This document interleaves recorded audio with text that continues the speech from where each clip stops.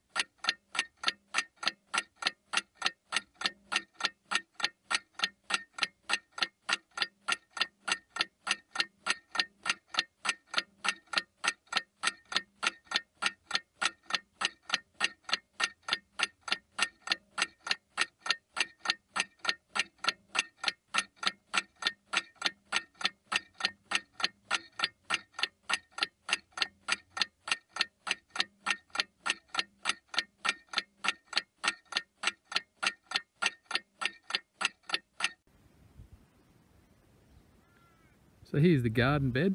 As you can see, got a uh, few things planted in. I recycled an old swing frame and put some wire on it for the beans to grow up. A couple of tomatoes.